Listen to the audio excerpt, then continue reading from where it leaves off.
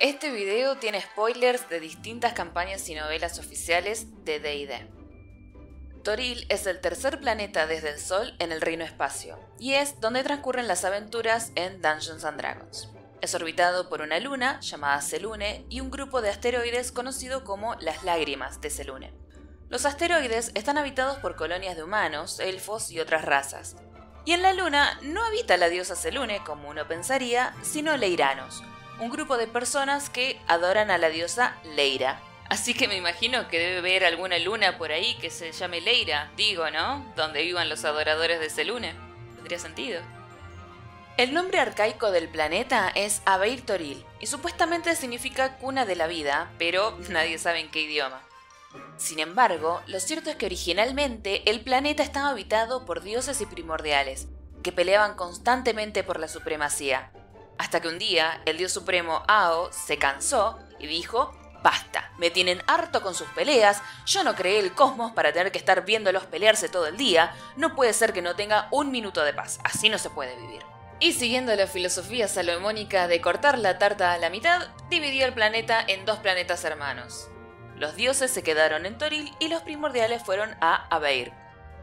Y para que no haya chances de que los siga molestando, los puso en realidades diferentes. Es un dios con la mecha corta, como diríamos en Argentina. Esto pasó en el año 31.000 antes del cómputo de los valles, así que ya nadie se acordaba de Abeir. Paréntesis, el tiempo en D&D se mide de una forma loquísima. Nosotros tenemos varios calendarios, el gregoriano, el judío, chino, musulmán, etc. Y para simplificarnos la vida, se suele usar el gregoriano.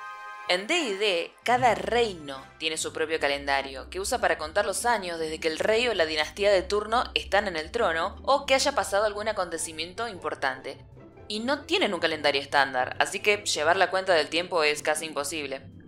Volviendo al tema, cuando pasó el cataclismo de la plaga de los conjuros, los dos mundos se fusionaron momentáneamente, y parte de Abeir apareció en Toril.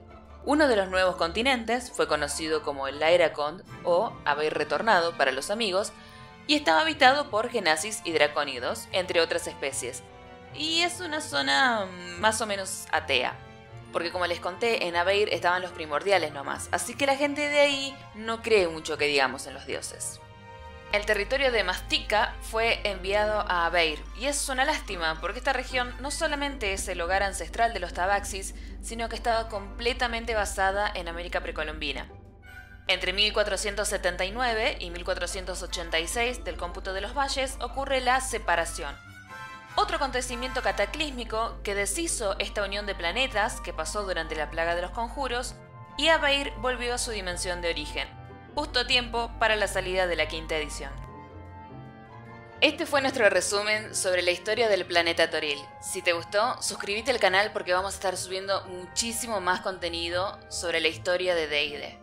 Nos vemos en el próximo video.